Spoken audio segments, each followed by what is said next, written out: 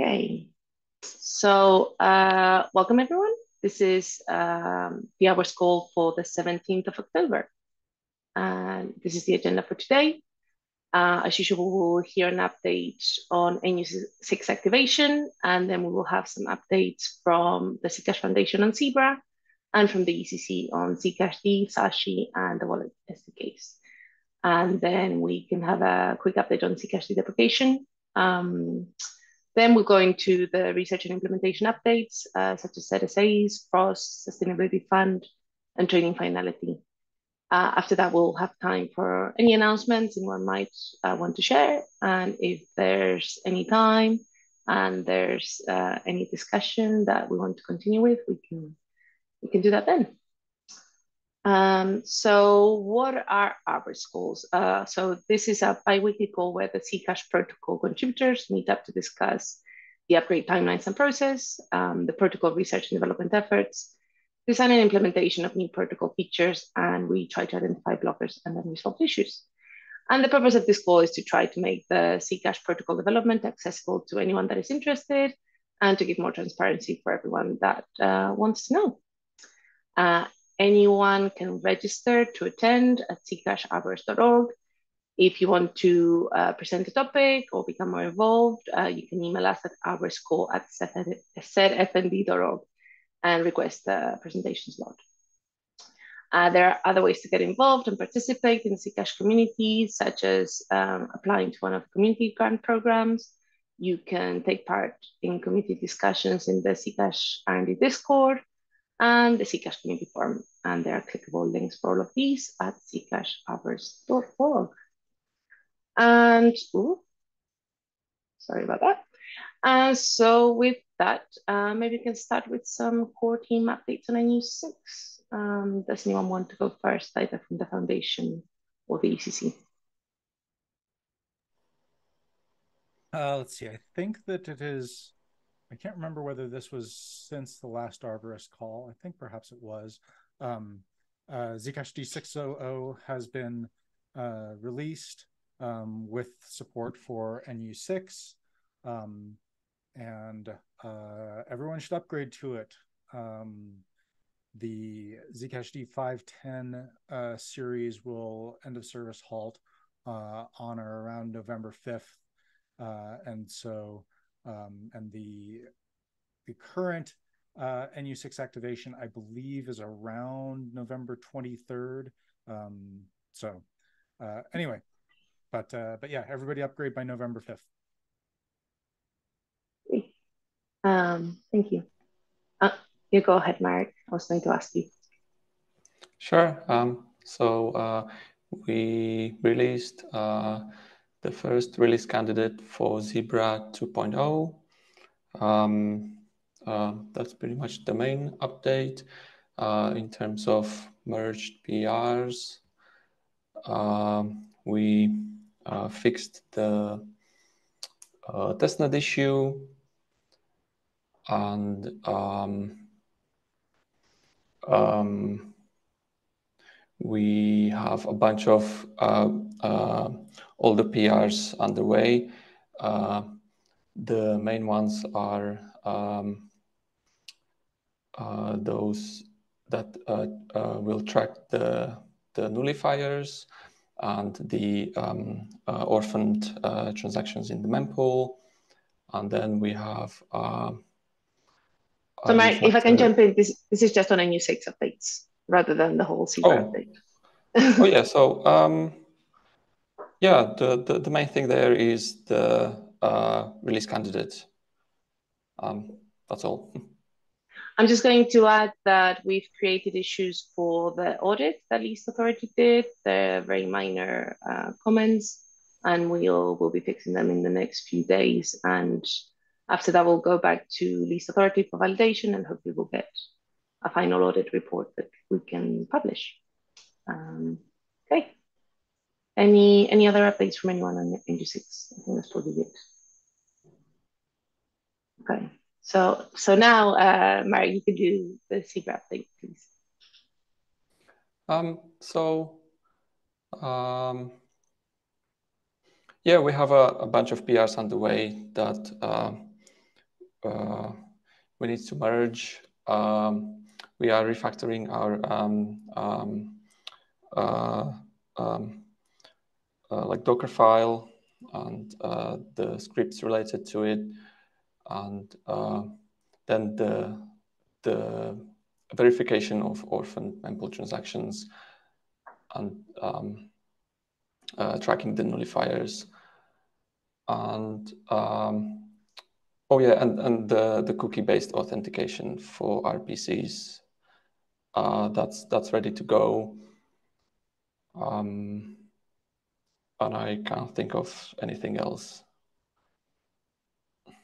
and the, the, the report contains uh, two uh, uh, two issues that we um, expect to fix quickly since it's uh, documentation and panics.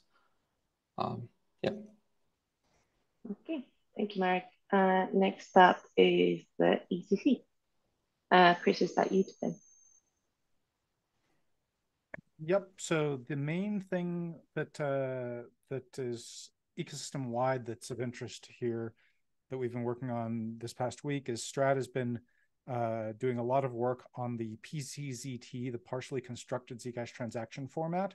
Um, that will be useful both for uh, frost signing and for interaction with uh, hardware wallets uh, and uh, attempting to take into account all of the myriad ways that one might want to collaboratively build a transaction with other people uh, and um, and put things together. So uh, there's a draft PR up, I believe, on the librustzcash repository that uh, that has a strawman implement, implementation um, for that serialization. Um, apart from that, uh, on the Zashi side, uh, we've been uh, working through, you know, some issues uh, related to you know app stores but uh, the major feature related thing that we've done is implemented a kind of a minimal note management feature so that uh, people's wallets can have a, a, mix of notes in them that helps them uh, make uh, transactions uh, back to back um, so that uh, we can finally fix the tip the barista problem um, so anyway that will be coming out uh, in a release soon. Right now, uh, releases are blocked on uh, Apple being uh, a bit of a hassle uh, because of our Coinbase integration. So, anyway, uh, don't have a really strong idea of when or how those those issues are going to get cleared up, but we're working through them. Great. thank you, Chris. Next up, uh, Zcash deprecation. I don't know if Paco wants to take this one or we, we take it between the ECC and ZF and anyone else. Maybe Shielded labs. I guess we can uh, do a bit a bit. go go ahead then, um, Paco, please. Okay. Yeah, on my side, I um, started um, contacting uh, some um, uh, block explorers, uh, started the outreach um, to know their uh, requirements, they, their RPC requirements to um, be able to continue their services um, using Zebra um, instead of Zcash And I'm currently taking on a small development task um, uh, on librustzcash since I was blocked on other work um, and I, I took something that was uh, a little bit on the side and not blocking anyone. Um, but we'll make progress on the DAG uh, of the deprecation DAG uh, as well. Um, we're um, I'm a little bit behind on uh, gathering the RPC information we already have. I, I've been on with some like mild surgery of my eyes, so I didn't I couldn't commit too much work these past few days, but I'll I'll catch up. Um, uh, and that's that's the update I have. Then I we have um, some open discussions items to talk later, and if Jason is around. We also um, are working with ChainSafe people because they are contributing on the in-memory uh, wallet uh, side of the Zcashd wallet deprecation. And there uh, we are working with, well, mostly Chris uh, is working with them to see how they can contribute upstream all uh, their work um, in a in a useful way for for the code base. Um, so that that's uh, another important part of the deprecation DAG that will be unlocked by those two items that the ChainSafe people are working on. Um, so that's that's the updates I have. That's great. Thank you, Paku. Does anyone from ZF or ECC want to add anything to that?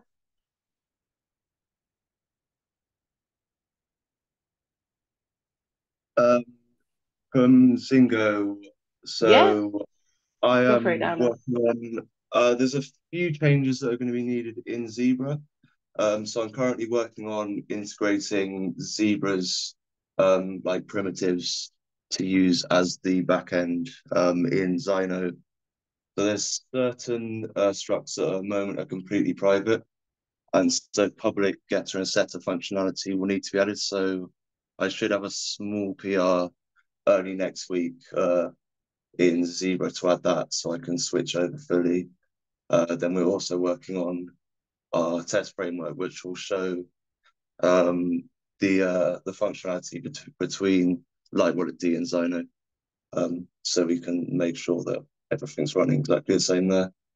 That should be done probably next week. We'll have these two wraps up, and we'll uh, get to finishing off um, building all of the lightwalletd functionality in Zaino over the next couple weeks, and we can move on to actually integrating properly with the restate service in Zebra.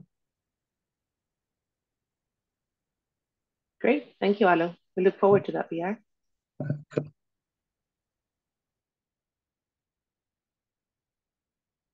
Uh, go ahead, Mark. You're muted. Yeah, we also have a um, PR on ZIP 233, and we we will start uh, reviewing that soon. It's the network system sustainability mechanism.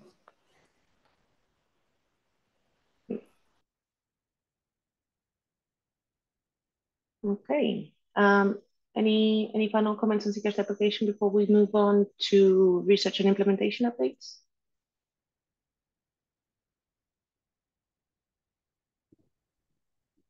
Um, uh, I have an update, but um, I'm just on my way home now. So um, if you can wait a few minutes, then I'll be able to get that. Um, sure. Yeah, or maybe maybe let let's let's move on and go back to it when you're when you're home. Um, yeah, let's do that. Cool. Okay, so next up is research and implementation updates and Zcash shielded assets. Uh, go ahead, Vivek. Yeah, hi. Uh, so uh, regarding the uh, ZSA updates, uh, I'd like to start today with uh, asset swaps.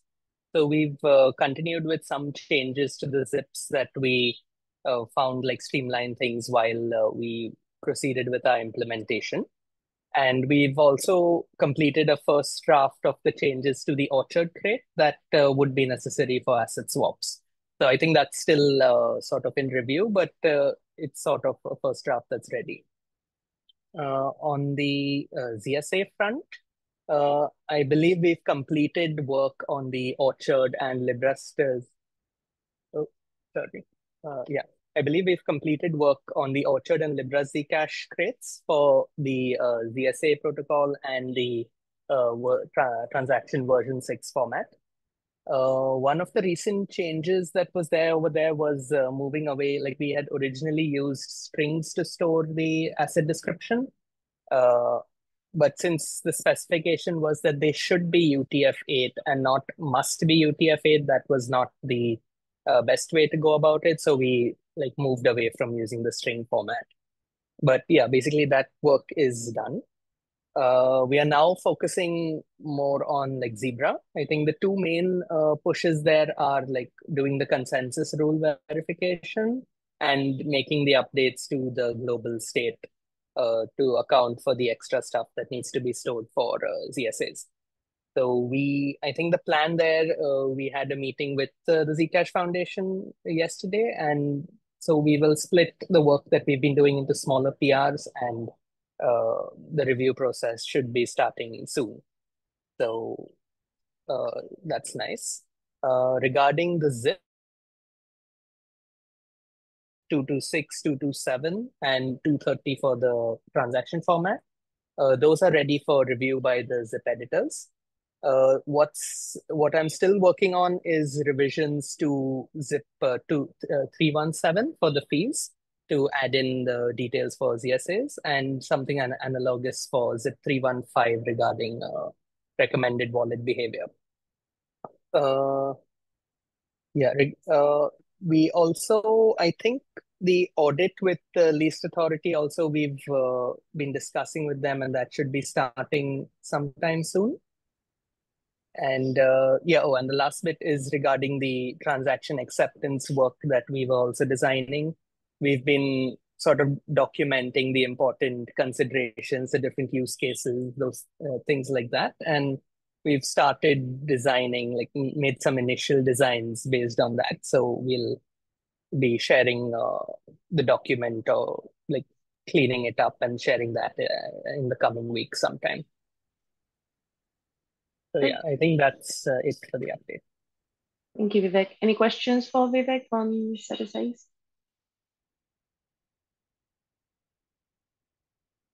Okay, let's uh, uh, briefly switch back uh, to Zcashd deprecation. Dharma, please go ahead. Uh, yes. So, oh, uh, okay. This was um, uh, research and development in general, as opposed to uh, specifically uh, Zcash oh, cool. deprecation. Okay. Well, um, this this is um, uh, uh, trailing finality layer. Oh, um, oh, that's uh, that will come up later, though. Oh, uh, okay. you're fine. yeah, um, yeah. Uh, well, was... do, you, do you want me to do it now or later? Yeah, go ahead. Uh, there we go. okay, yeah. Um, uh, so I figured out that um, it was possible to improve the um, security proof for Crosslink 2 um, in a way that allows you to effectively get um, uh, half the um, finalization latency for the same security.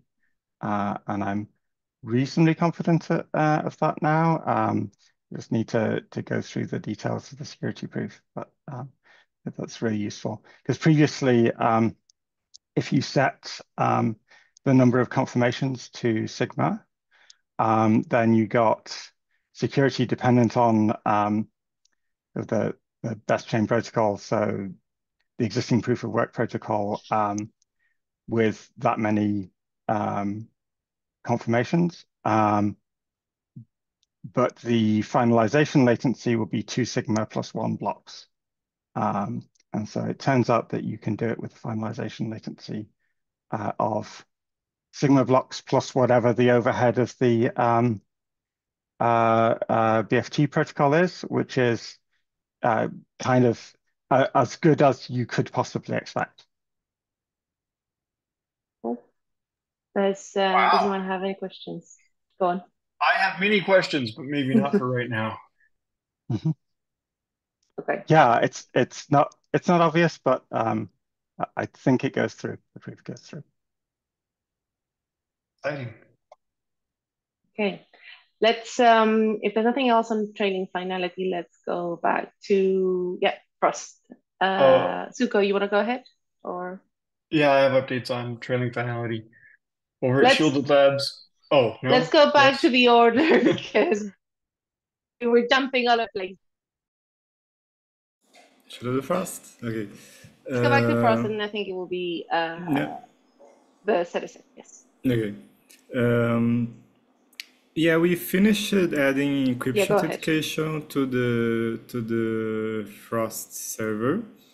Uh, which was kind of the final part of the puzzle, but we still need some you know, cleanups and stuff uh, to, to actually make the server something production ready. But the main part is done. Uh, and that's that's for the demo repo. And the main Frost repo, we've been reviewing some contributor PRs, uh, and we're going to make a choosers release very soon. We kind of been postponing for no particular reason, uh, but it's, it's, going to be released soon. Um, yeah, we're still working on adding refresh shares functionality when you're using the DKG. Uh, there was some small issue there, but we sorted it out. And I think that's it. Yes. Thank you, Conrado. Uh, next up is the Zcash Sustainability Fund. Hi, everybody. Um, so we've got a couple major updates to share today. Um, we've made some changes that we think will help improve the community's understanding of what the sustainability mechanism is and how it functions. So um, first off, we've changed the name from Zcash Sustainability Fund or ZSF to Network Sustainability Mechanism or NSM. Um, I had announced on the forum a few months ago that we were considering a name change because the word fund created too much confusion. Um, people were sort of thinking of it in terms of the dev fund or that there were organizations that control or are recipients of the fund. So um, since the NSM is not a fund, it's an upgrade to the current issuance mechanism that enables ZEC to be removed from circulation and recreated as future block rewards to help sustain the network. We figured that that would help clarify its purpose. Um, so as a result of this change, we no longer refer to deposits or distributions and instead use terms like burning to describe the process of removing ZEC from circulation, and then minting to describe recreating ZEC in future block rewards. And it still honors that 21 million coin cap. Um, and we believe that the terms burning and minting are easier for the community to understand because they're common terms used in other projects like Ethereum. Um, and so these the, changes, yep, go ahead. The the um, the zip editors or, or um, actually um, uh, Chris um, Strad and I um, had some doubts about that terminology, um, but we can. Uh, I'll let you continue your um, uh, your piece, and then we can talk about that. Okay. Yeah. Let's let's talk about it. So, um, the changes have been reflected in our zips. Um, you know, we ZIP 233 has been updated to introduce a voluntary mechanism for burning ZEC. Um, ZF we previously had the ZSF deposit field, and that's been replaced with burn amount. And then ZSF balance is no longer reflected. Um, it's instead defined in relation to max money by ZIP 234. And then in ZIP 234, we revised the motivation section to make it clear that smoothing the issuance curve is necessary to enable burn coins to be reintroduced into circulation in a straightforward and predictable manner. And then the term money reserve now replaces that ZSF balance and is defined by max money minus chain value. And then ZIP 235 is largely unchanged, except it now specifies the burning of 60% of transaction fees to support network sustainability. So the zips are final, PRs have been submitted and they're ready for the zip editor review. Um, we've also finalized the code and submitted all PRs um, for all three zips implementations um, for Zcash D. and then for the implementation for Zebra, I think the the first zip has been submitted and the other two will be um, submitted in the next few days, and that's for the actual code. Um, so our intention is for the NSM to be included as a candidate in NU7. Um, I'm going to provide the update to the community later today, obviously depending on the feedback that Daira, Strad, and Chris have. Um, and i have also been working on a FAQ that addresses common questions about the project and, and sort of helps explain it to the community better. Yeah, so um, I, I, we had some comments about um, uh, terminology and also some um, questions about motivation, I think. Um, uh, and those are on the um, the PRs, but uh, I'll repeat them for the the uh, the people here.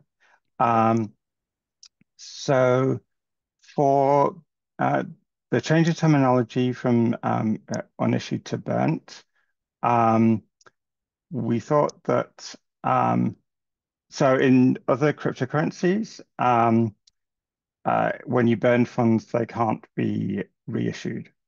Um, that that's um, uh, cryptocurrencies with a fixed supply curve like Bitcoin. And so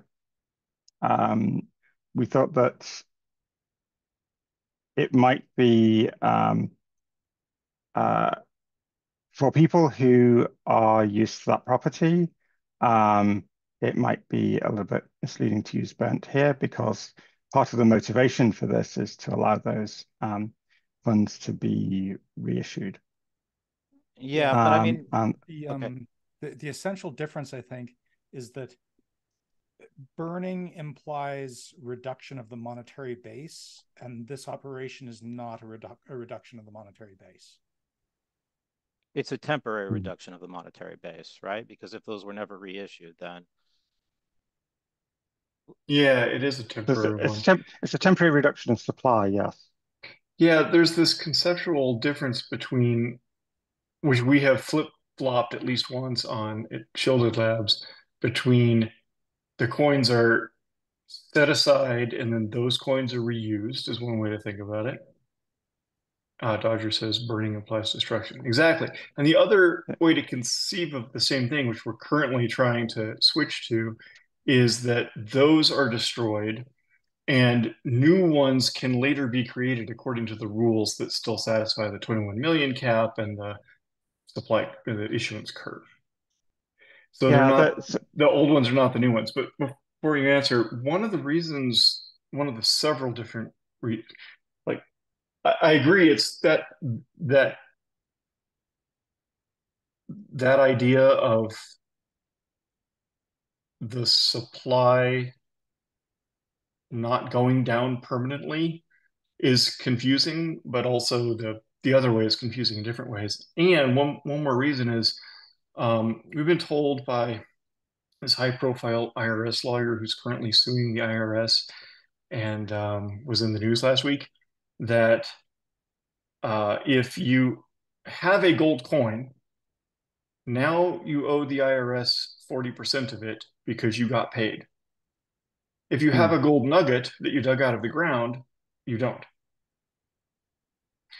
And the same kind of principle. So the principle is if the reward to a miner in a block is a, uh, a transfer to that miner from some agent, then that transfer and that agent, whoever it is, is subject to IRS and money transmitter requirements and securities regulations and so forth. Whereas if the miner actually just created that block all by himself independently, um, it's not because then the the agent in question is just that miner. Anyway, that's hmm. complicated mm. and weird, but that's one of the things yeah. that we were told along the way.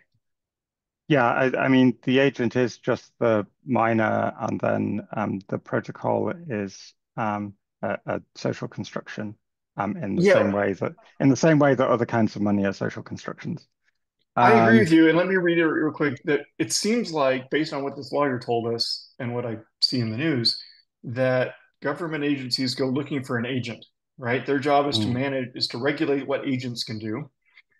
So if we say somebody or something gave the miner these coins, then that activates them and they're going to go looking. And they could even potentially, I guess, maybe, maybe not, end up looking at the devs who implemented that code as the agent or all the other miners or someone is the agent. But anyway, that's a super big ball of wax. But back to your basic point yes, saying it's burnt is a little inconsistent with like Ethereum terminology because, like Chris says, in Ethereum, when coins get burnt, the ultimate permanent monetary base is that much less. And that's what's different about the network sustainability modules that the monetary base eventually exponentially over the next in years restores. But it's also a lot like the Ethereum concept in that the person who burnt it has lost it forever and the monetary base has gone down by that much currently. Well, it, it, Ethereum is actually the wrong comparison here because in Ethereum, they burn funds, but Ethereum's uh, not not supply capped, so uh, future emissions can introduce, you know, arbitrary accord to according to like, is it EIP one five five nine that uh, that does that? There, there's there's something about that algorithm that allows it uh, greater issuance. There, there's not a fixed cap. Yeah, uh, I mean, perhaps I shouldn't joke about taxes, but uh, if I'm uh, giving away money uh, and lots of money as a dev um, uh, as part of uh, um, a business venture, then that's a loss and they want a tax rebate. Um, okay. The that wasn't the only issue. um, Dodger mentioned the um, kind of burning um, as um, uh, having mental associations with destruction. Um, uh, I mean, that that is a disadvantage, I think. Um, any, anyway, so other issues. Just real quick on this on this one point though, before we get to the other issues, are we saying that the problem is with the terminology and that the zips are still in a stable or acceptable semantic state? Um, well, there there are some issues that are um, about uh, consensus rules, for example. Um, let's see. There was one issue about Coinbase transactions where the um, we thought the consensus rule was um, incorrect for versions uh, transactions versions before um, uh, this upgrade or whatever upgrade um, uh, would adopt um, the NSM. Um, and let me just check. I think it was in it was in zip uh, 235, I believe. And oh, it was a conflict with zip 236. So um, uh, zip 236 requires that um, each block balance exactly. Um, and that's in conflict with the way that you specified um, the burn amount uh, field for ZIP235. So the, there's a comment there about that. But there's a relatively okay. easy fix to that because you can um, uh, require Coinbase transactions to be the new version and have the um, explicit burn amount field. Um, other things were, I think, mainly about motivation. So uh, let me find this. So the the motivation for zip 234 um, it says that um, sudden shifts um, due to halvings can potentially disrupt the uh, network's economic model uh, and impact its security and stability. Um, so it's we probably should make this a, a editing meeting. Yeah, yeah. Um, I'm just but figuring can, out but how much detail to, to, go into here. Yeah, I mean, we I'd be happy to set up another call with you guys to work through these issues because I think that okay, yeah, um, that's probably the best thing to do. So let's okay. do that. Um, real quick, I, I wanted to check with Mariusz and, and see if he had anything he wanted to say on the um, last of the coding that he's working through. Uh, yes, hello. Uh, so we have uh, posted all PRs for ZCashD for all the zips. Uh, we have uh, one PR for Zebra, which covers the zip 233. And I am finishing my work on the zips 234 and 235, which should be um, posted either tomorrow or beginning of the next week. Okay.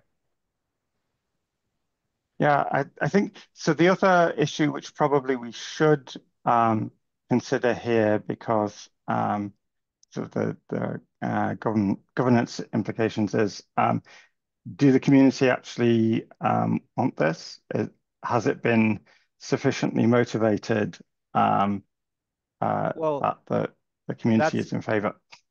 That's an important question. So we've had conversations for the past year and a half on the forum. Um, we've done presentations in ZCon. Um, but I do think that, you know, now that we have, we understand what the timeline is for NU7 and we have an actual deadline, like now is the time to start um, you know, sort of putting the conversation to high gear, doing polling in November after we get to the go through the zip approval process or zip selection process as as is listed in the in the roadmap. Um, so I think we, I'm pretty confident we can demonstrate that based on um, conversations I've had with community members and stakeholders. Um, but I think you know that will happen organically over the next two to three months. Mm-hmm. Because um, so if NU7 is um, is including ZSAs, then it, it is already um, close to what we consider to be the the complexity budget for an NU. Uh, okay. Or close but, to what but, we have considered in the past to be a complexity budget. Understood. But here here's one issue, right? Is that is there a chance like so we've done the zcash d and the zebra d implementations because we have um, sort of think that it might take longer to do the zcash d deprecation than expected. So if that runs into the end of the year or 2026 um, like is could we get this in first? Like would could this be nu7 and then zsas and Zcash deprecation be NU8 because ZSAs are contingent upon Zcash deprecation, right? Uh, they are. So um, the zip editors posted a um, a sort of rough timeline. I, I, shouldn't speak for them because I'm not a zip editor anymore. Um, but it, my impression is it certainly would um, significantly delay ZSAs if they were um, put in a um, uh, an upgrade after um, uh, if they were not in the next upgrade, if they were in NU8. So when you say the complexity budget, you're saying that it's it's too burdensome to include ZSA, Zcash deprecation, uh, and the ZSF, and that I, I'm I I'm not quite saying that. I'm saying it's it's close to the limit. So it's there's a there's a question there as to um, whether uh, NSM is worth it to put it in the same upgrade. Okay. Um, I just want to go on. And it's also the case that um, polls have consistently shown that the uh, community um, considers ZSAs to be a very high priority. Understood. I yeah, yep, I agree with that. It is definitely high on the list of priorities for the community. Uh, Josh has had his hand up for a while. You wanted to say something? Yeah, it, it, it, was related. So the question was, why were we implementing this in Zcash If we, you know, I thought we had um, kind of agreed that you know Zcash D deprecation was a priority, and we didn't want to introduce anything new to Zcash D. So the you know the goal within NU7 was everything would be on Zebra at that point. Yeah, I mean, this is something that I brought up in an Arborist call many months ago, and my understanding was that if we, you know, it was an option. So, uh, and well, also, we're, I, we are further along, and um, we've worked out the rough timeline, um, and that it, the window for that option is closing, um, uh, and I mean, speaking as uh, ECC's engineering manager, um, uh, I think it's very unlikely that um, that option will be taken. And, it, and it's also why, like, why do we want to get this in now? Why should this be a priority? Because it, it does, mm -hmm. right? it's it's it's it's non-trivial uh, to get to get another network upgrade in there.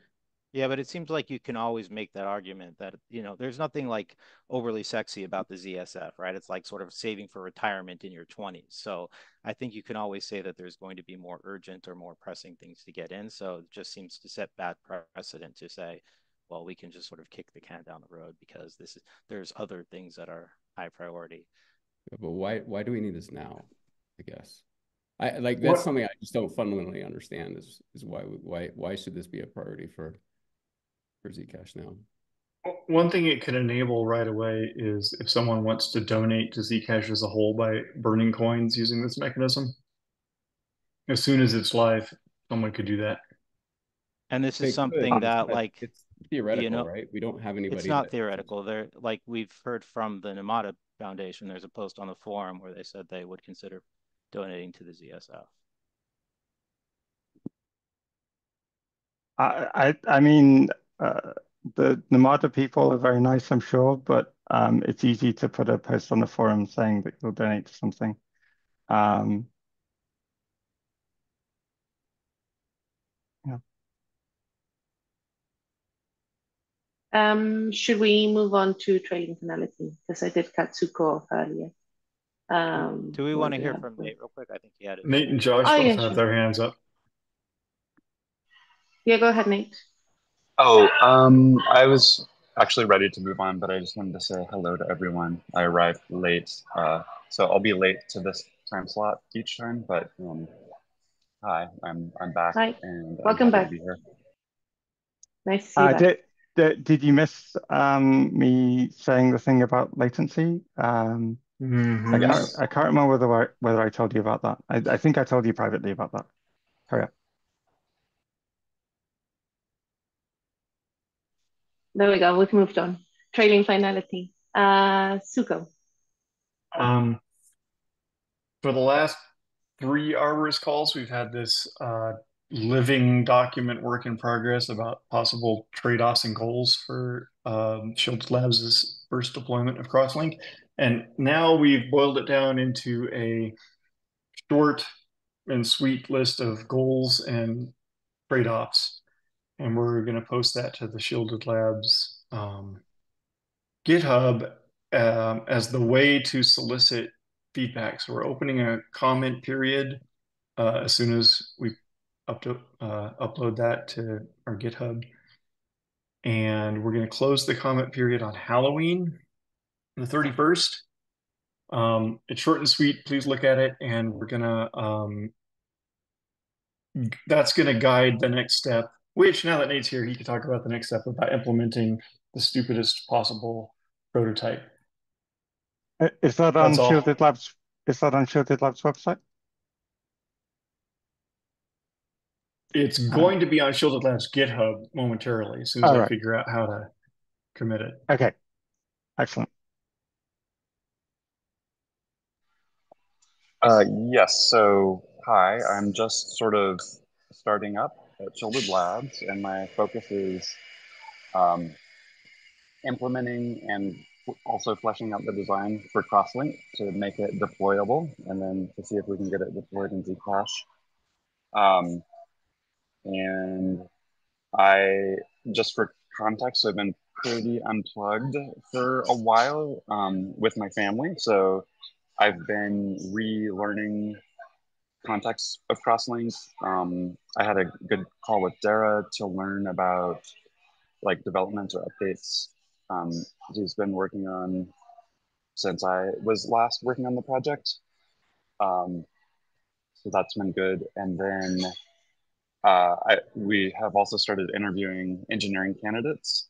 So we want to hire a smallish team um, and the initial goal is to start working on a prototype even before the full design of Crosslink is done.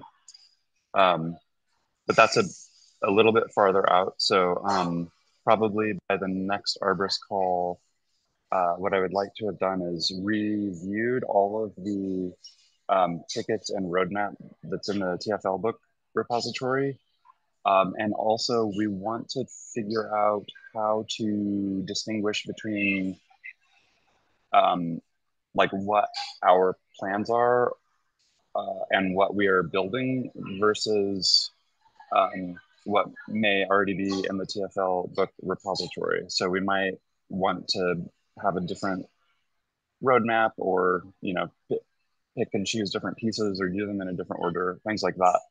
Um, uh, so yeah, I, I, need to figure out the best way to track that. Uh, yes, Daira. Yeah, because originally um, that uh, book was written under the assumption that um, ECC would be doing um, uh, a large proportion of the work.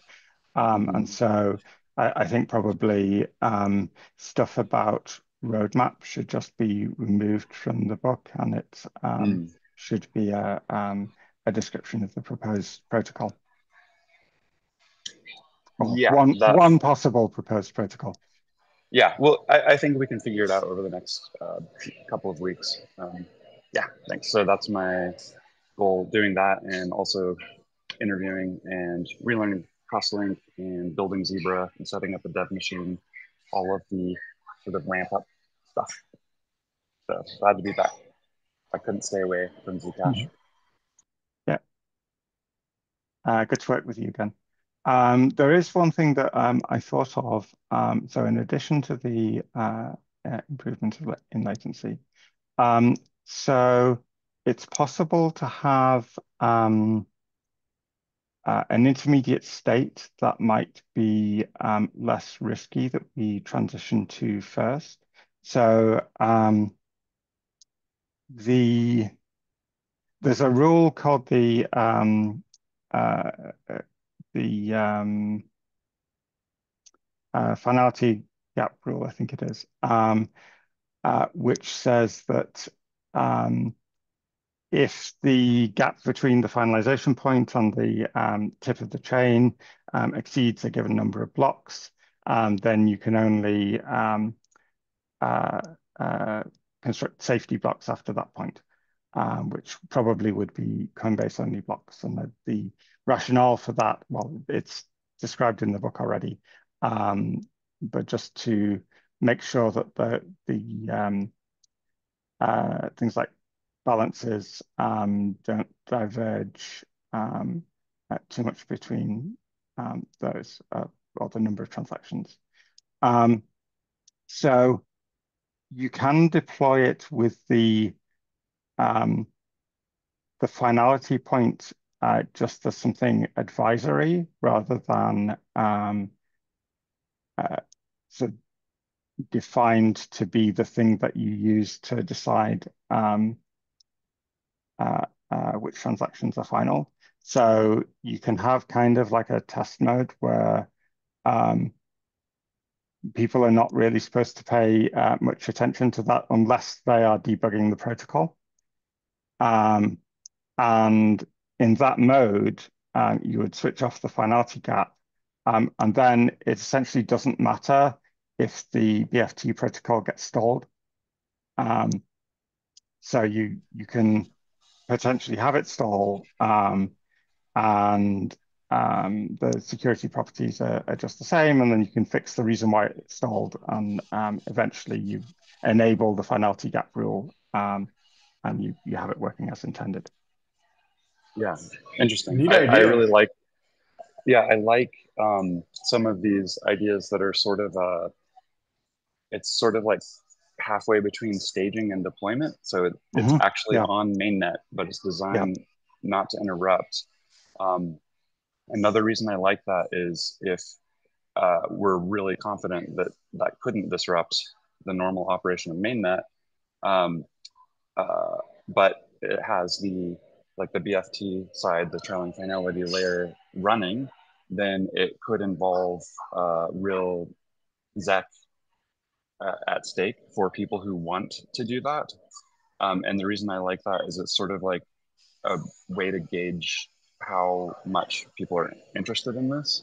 And it's mm-hmm. sort of similar to something Ethereum did where you could sort of yeah, like pre-commit yeah. to helping run the beacon chain and it took real money uh, and so they could sort of see is there enough support to do this? Which is something you want to know for uh, proof of stake. You want to know there's enough stake interested. So yeah i we will definitely want to be figuring out those deployment stages. Um, I think right now, my focus is more on this prototyping piece, um, but mm-hmm. there are some similarities uh, because in the prototyping, I want to um, build out different milestones where um, that are similar, where portions of the protocols aren't functioning fully or uh, are being ignored or what have you, yeah. Um, to, yeah. to make sure it's and by the way, the, the only reason this is possible is the simplifications that I made for, um, Crosslink 2. So um, th thanks to Strad and Nathan for those ideas um, that made mm -hmm. that mm-hmm. possible. Yeah. Josh? Yeah, welcome back, Nate, by the way. Um, it's good to see you. So um, I'm wondering since, I mean, this is all very novel, and to my knowledge, there's no real analog across crypto. Are we, or are you looking at um, kind of the economic or doing a study on the economics and the potential like security implications of the economics of this? Because we're going to have a halving, um, then we're going to split mining rewards between proof stake miners and um, and, uh, and stakers and validators. Um, and so my understanding is with this too, there's there's some potential risk of a halt. Um, I think, mm -hmm. correct me if I'm wrong, Daira, but I, but I think you were uh, kind of teasing that out a little bit in terms of that potential risk. Yeah. Um, so so for the the so the for the standard protocol, um, if you can cause a rollback of more than the the safety parameter sigma, um, then you can force the um, uh, potentially force the network to halt. Um, and that might be something that you can detect and, and um, uh, fix relatively quickly, but um, for the, just for the protocol on its own, you can force that. Um, so you have to be fairly confident of what that parameter is. So the, the, the, yeah, so then the question is like for Shielded Labs, is there an intention to do um, that kind of economic and security work? The, yeah, well, we definitely want to have some uh, like estimates or uh, model for what we might expect for the security given the expected issuance. Um, but that is that's going to be speculative to some degree, and it will also um, let's see. So the the the more tractable thing is to figure out okay if X amount of ZEC are being issued per you know per time per day. Uh, is this how, how is the security compared to existing Zcash proof of work without making this change? Is it better or worse or the same? Um, I think what Daira has done. So I don't know if people remember, but at a ZCon, I presented a much more hand waving idea for doing a trailing finality layer. And during the talk, people were like, but doesn't that like have this, or it splits the amount of security to the weakest of POW or proof of stake. And if, um, if our understanding of crosslink is correct, it fixes, it addresses that problem. So Daira like has pulled a rabbit out of the hat. Um, there is precedent for it in Ethereum, mainnet. They switched to a hybrid and then they switched to uh, full proof of stake.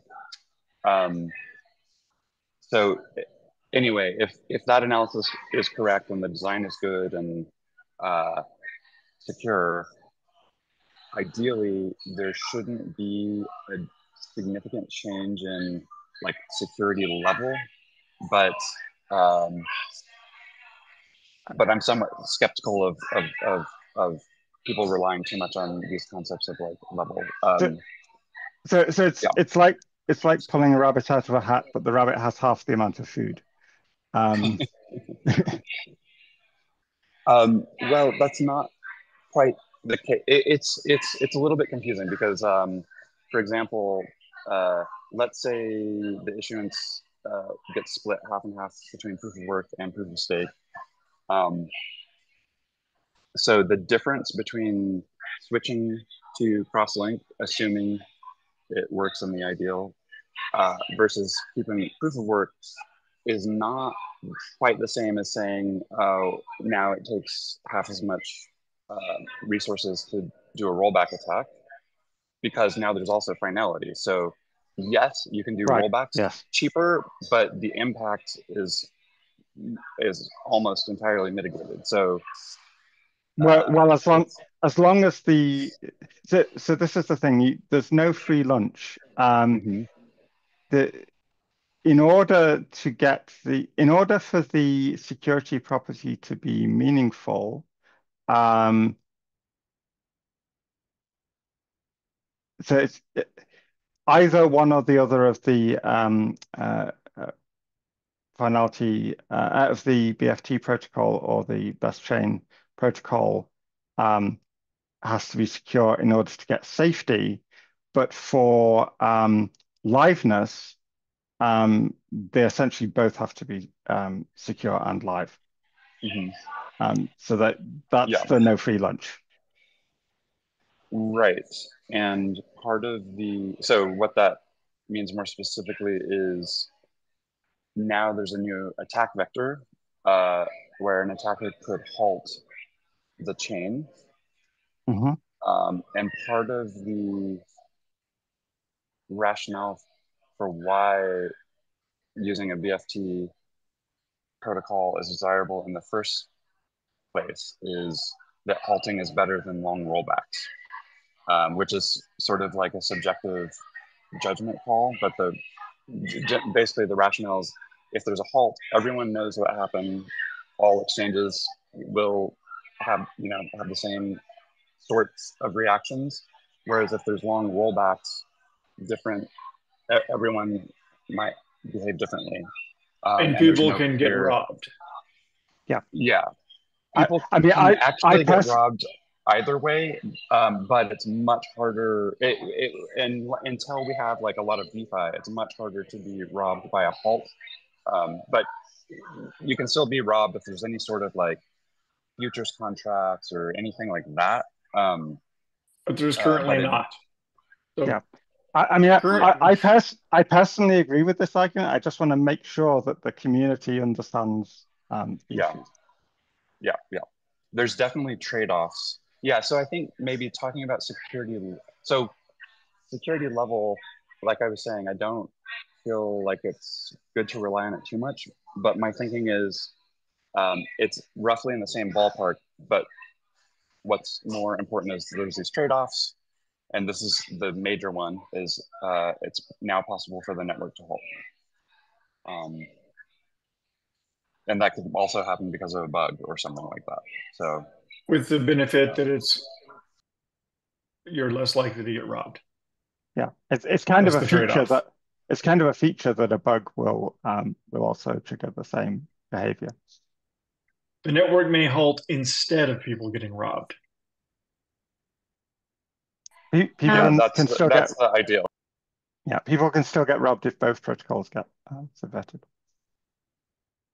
Uh, Pacu, you've had your hand up for a while. Do you want to say something? Um, yeah, in terms of um how staking and mining rewards would split, um, what is there anything that um avoids like my current miners to also spin up validators?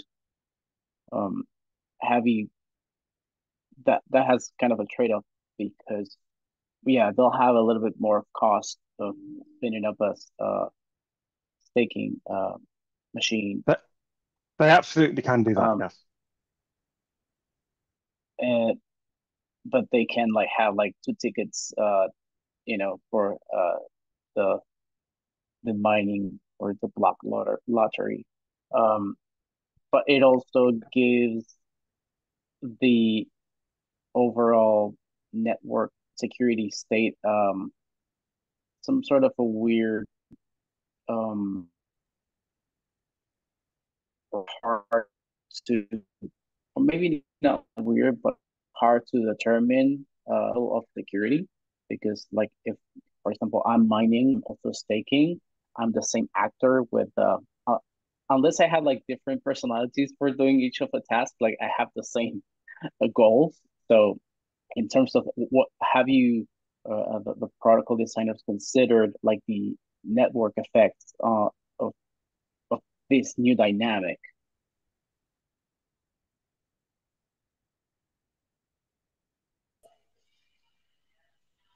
uh yeah so the we had like we've thought about it but not um like super rigorously the like the first place that comes up for me is when trying to think about the security of Crosslink.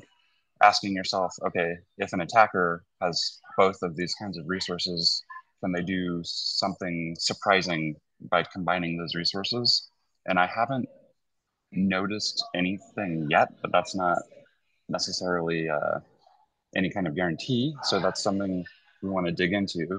But then I think your question is going even further, like assuming it's secure in the sense of sort of like the micro view of how things run uh, in the in the present moment or in the um, in the uh, uh, uh ongoing case. Um, what about like centralization and economic effects and that sort of second order stuff?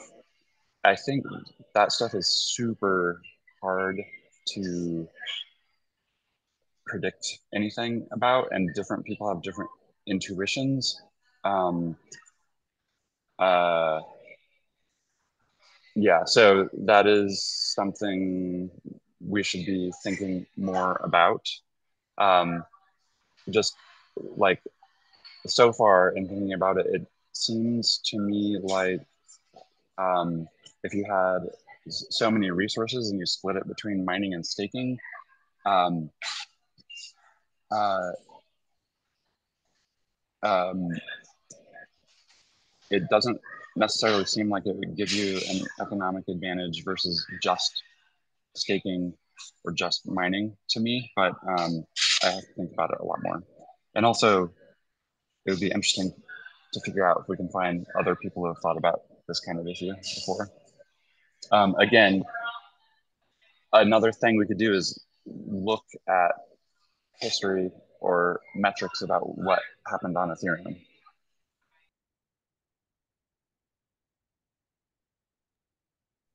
Uh, I don't know if Daira wants to go first or Zooko.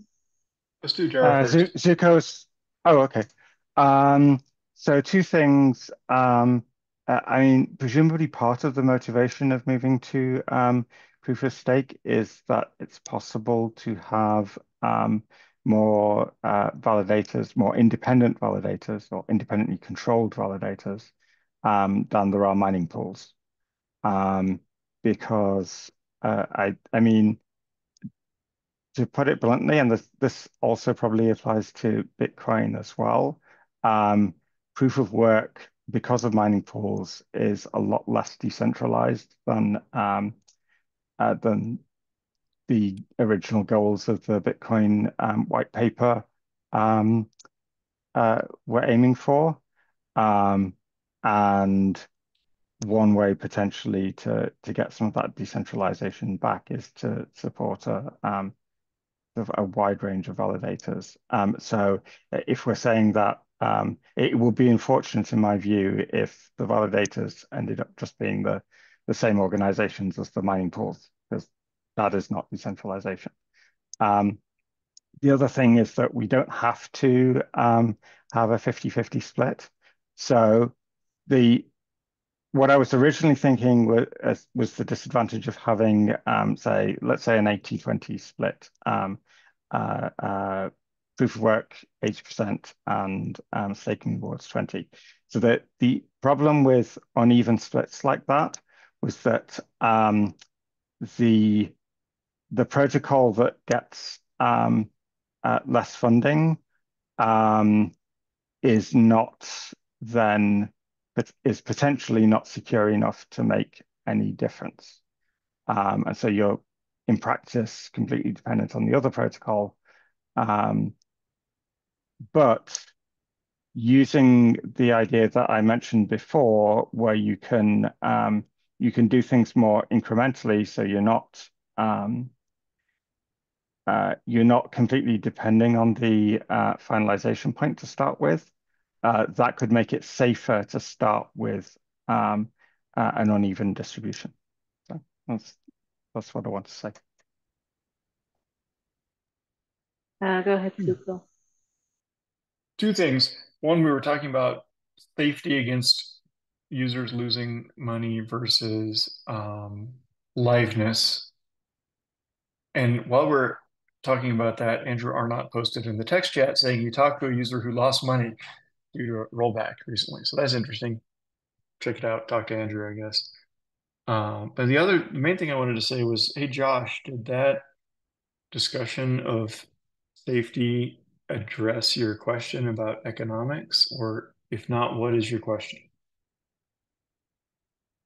Um, did it address the some, somewhat. I mean, I, I think like understanding the balance of the trade-offs of, of liveliness and um, and and and safety is is is good. It, it's like um like I'm wondering like I wondering like will like what is a price point that proof of work miners drop off um and we lower the hash because at some point like if the if the coin you know we have the it's it's reasonable to assume that I mean the, the, the network is secure today based on the current coin price or down to 18 bucks or whatever it's been. I mean, we saw we saw a significant hash rate hash rate drop. Um, does that also uh, consolidate or further centralize power, where we've seen, you know, ViaBTC has a you know 60 some percent of the hash rate today. Um, what do you know? What is a, a reasonable yield um, for for proof of stake to get people to participate? Those are just questions I have. I you know I don't know if there's answers for, but is it something that we're looking at or something you guys are going to be looking at? It's it's a good point that we can use we can use uh, past reductions in price to um, to assess whether um, we think that the proof of work part was secure at that point. So uh, it's it's entirely it's entirely possible that um, the floor isn't the, the, the price floor isn't caused by uh, miners dropping off. It's caused by miners deciding to hold on to their coins instead of selling them. So it could be that um, they'll continue mining even if the price is too low, but instead of selling those coins, they'll just hang on to them until the price rises. Mm.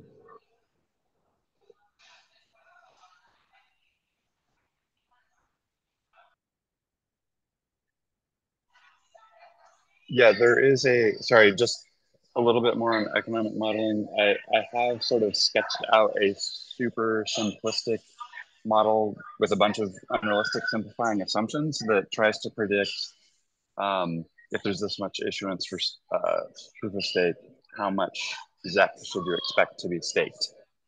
Um, but I have no idea how useful it is. Um, but I would like to sort of flesh it out just as a way to think about start thinking about those those issues. Cool.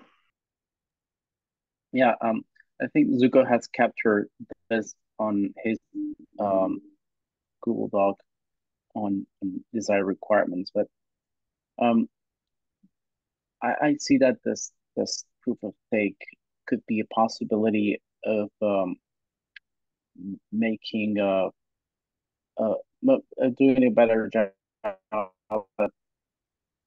at uh, tra- uh, bringing or attracting new people, bring back people that left when when that that had GPU miners.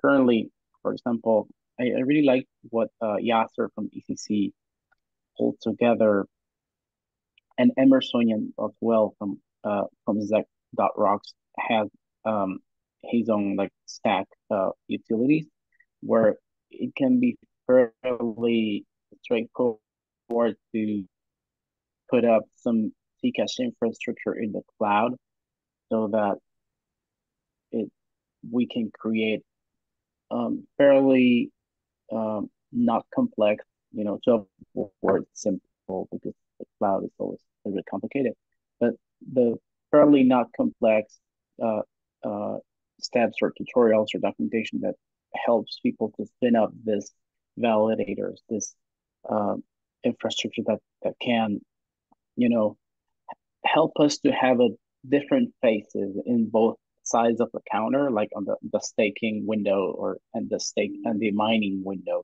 Uh, if if there was an administrative office of the protocol, right? So, uh, uh, so if you if you're a miner, you will be a different person than a staker because maybe it has different incentives or maybe the, the staking mechanism is more help help to foster diversity and and brings uh, interest in different kind of factors that we're currently not um, a very appealing uh, protocol um, that for them. So I guess that's that's also some a dynamic that could be at play that could help us like avoiding this, you know, um, people with two masks, like people disguised as miners and stickers, depending on whatever is the math for them more convenient, or maybe that they do both. Um, and I, I think that maybe it could be a good idea to figure out if if there's a way to have a like more like popular or you know uh, average people friendly kind of like staking mechanism in terms of cost? Yeah um so uh, we talked a lot about crosslink but we haven't talked about um, uh, the staking mechanism and um, in particular delegation um, and um, i think actually uh, whether delegation can be done privately um, is an important question here. Um, so Penumbra does allow that, it's it's certainly possible. Um, the other thing I wanted to say was, have we considered hiring an economist? Um, because it sounds like we're trying to um, uh, answer economic questions without the benefit of um, anyone who is um, trained in that field. Uh, and I know economics is, has been called the dismal science, but that doesn't uh, every, that everyone who studies it doesn't know what they're talking about. Uh, I, I did suggest that we hire an economist before um, uh, leading up to the Zcash launch, but that was never taken up. Um, we are running out of time. We still have a little bit of time, but uh, if we can start wrapping up the trading generator discussion to give time for um, any announcements and further discussion if there is any left. Uh, but I think uh, Zooko, I think you had your hand up next. Um, based on past experience, if you're going to hire an economist, it depends on how specific your questions are, how useful the answers are. that makes sense. Um, so the open comment period on crosslink requirements with the GitHub link that is soon to come uh, would be a good place to hone in on the specific questions we have. It, it shouldn't be only crosslink re um, requirements because there's also requirements on the staking um, design. Mm -hmm.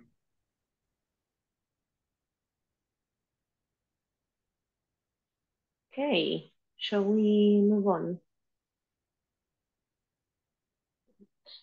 So, um, I mean, we're probably wrapping up. Um, does anyone have any open announcements? Uh, please, if you're an attendee and you have an announcement that you'd like to share, just raise your hand and I can let you speak or promote you to panelists, whatever you prefer. Um, so yeah, I'll, I'll just wait a while to see if anyone has any open announcements.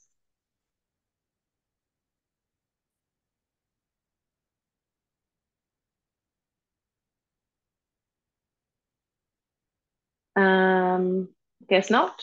Um, we do also have some time for more discussion. If there's there's any other topic people would like to discuss, uh, go ahead, Pacu.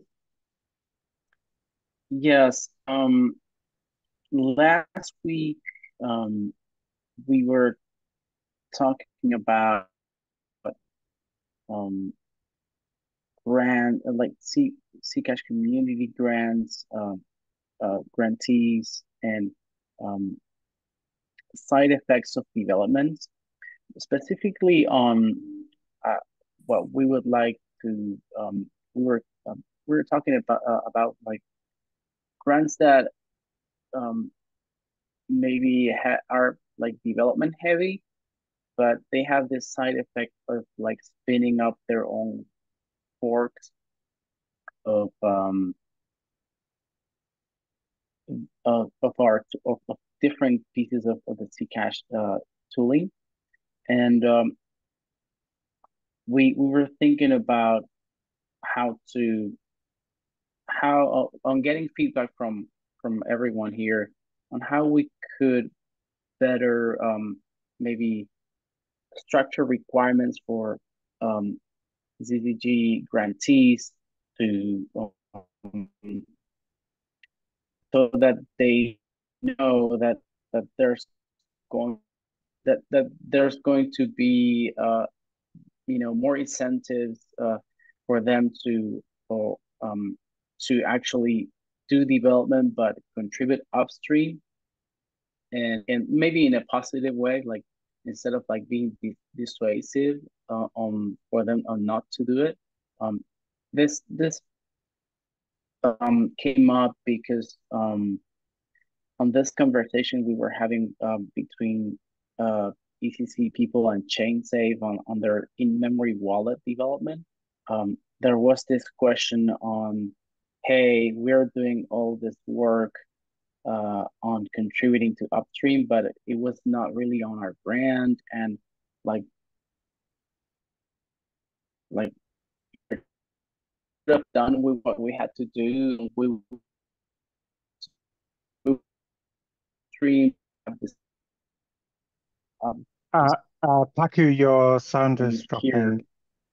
I think oh, it actually might be I think it actually might be an interaction with the um, noise cancelling. Um, uh, maybe for, for, future reference, try switching that off.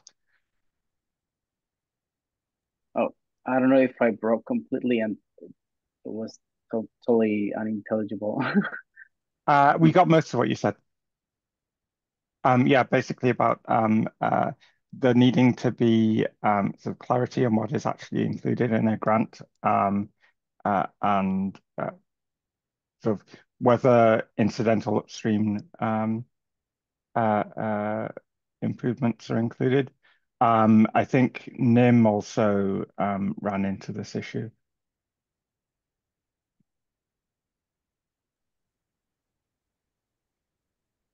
Yeah, and so, so I guess that's feedback for also, the ZCG. Yeah, I do. You, do you think that because something I uh, that uh, it was a valid criticism that that Chris um, gave is that it's it's awesome to have like this kind of contributions, but if the results or development, uh, if the result is a dangling fork of a library that someone else maintains, then it it be, like with time it becomes to be like a less and less a fool to put it in a way.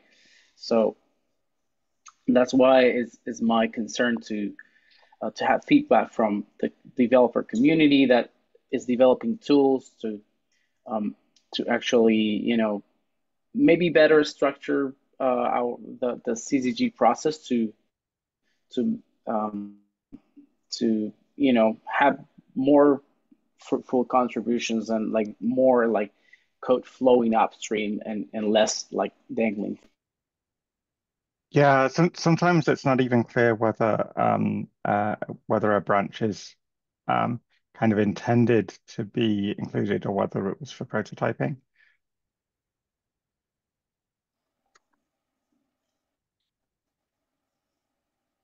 And do you consider like um, any um, would you like I thought this uh, that like if let's say that if um, do you consider then how do you consider a dangling fork of librustzcash, for example? Do you think that it's something of neutral value or positive value or negative value in the midterm, long term?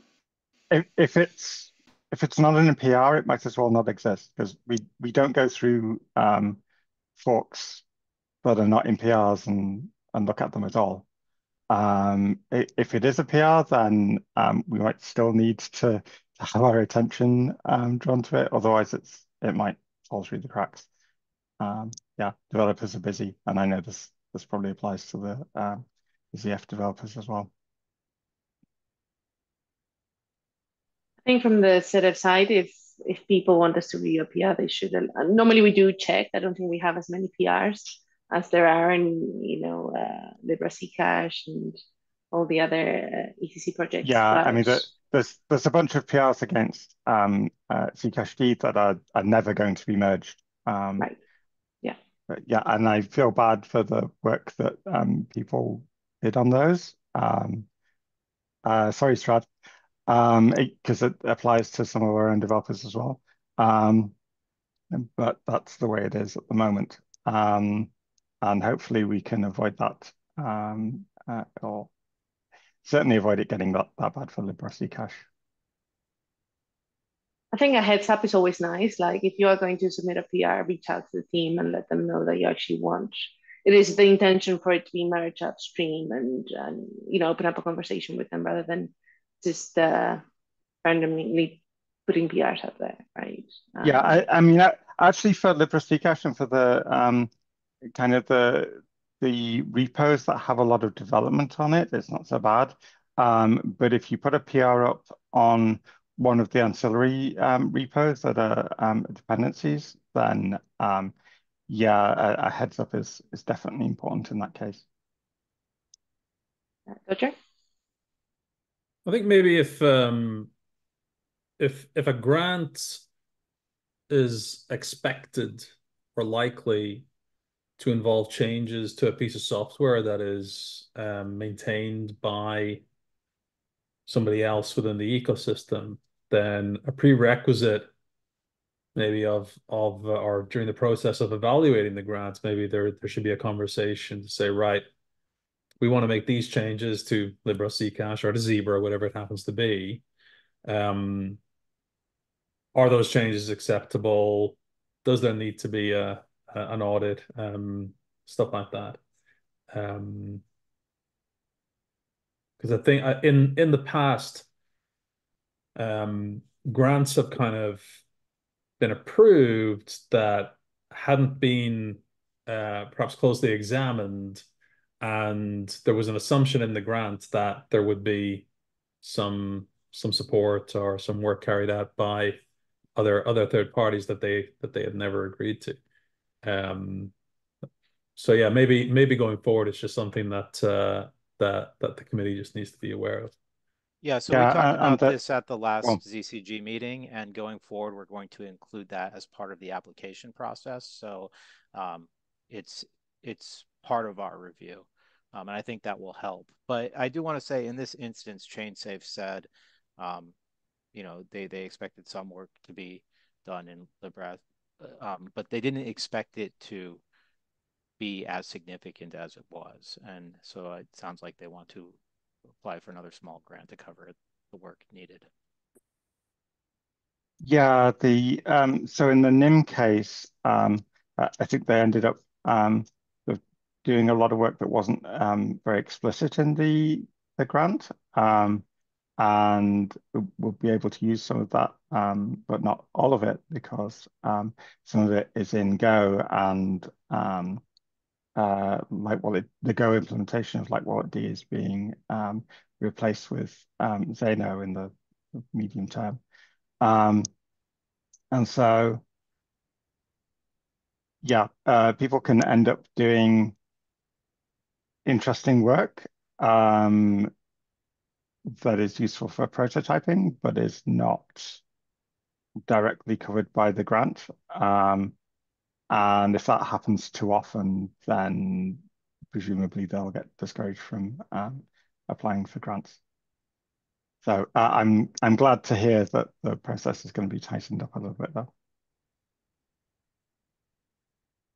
Yeah, I brought up the um, ChainSafe case because it was the most recent, but they have been also like super, you know, going the extra many miles uh, to contribute upstream because they they're super committed to the project and and and to Zcash.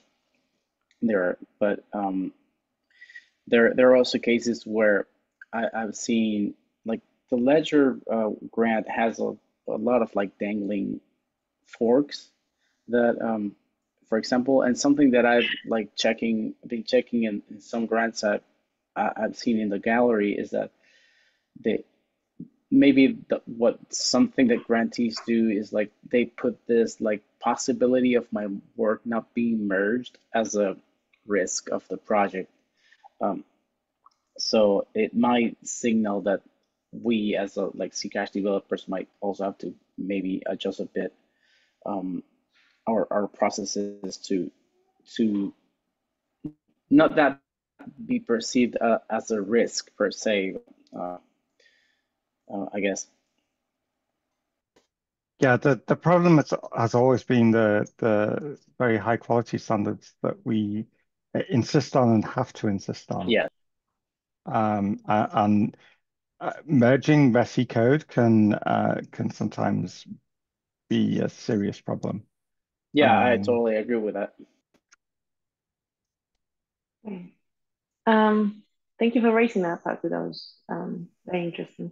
I think it's um, grantees shouldn't assume that developers are also reading all of these. And I think we are now getting into this process where ZCG will reach out if there's something that requires input.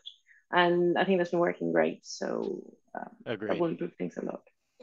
Um, we have three minutes left. So I think if there's any uh, quick discussion that uh, we want to have, then otherwise let's wrap things up.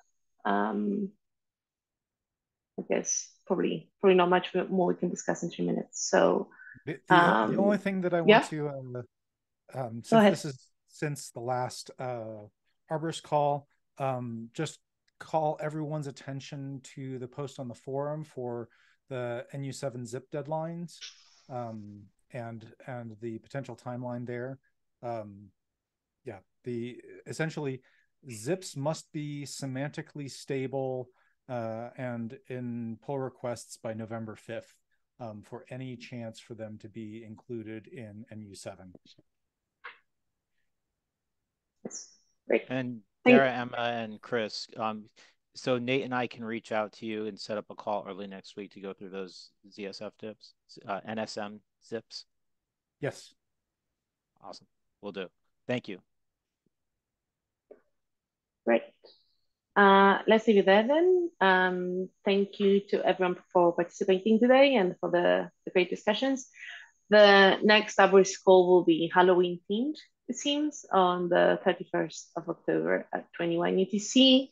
Uh, clocks, we're in that time of the year where clocks are changing, double check, triple check, quadruple check. Uh, the UTC That's very spooky. yeah. but, yes. yeah. That, that was not me uh, doing all the lovely graphic designs. But uh, yeah, thank you. Um, yeah, just uh, please be aware of the UTC time rather than what your calendar says, because I know calendars uh, do lie sometimes. And um, yeah, we'll see some of you then. Um, thanks, everyone. Abolish time zones. Bye. Thanks, everybody. Bye. Bye.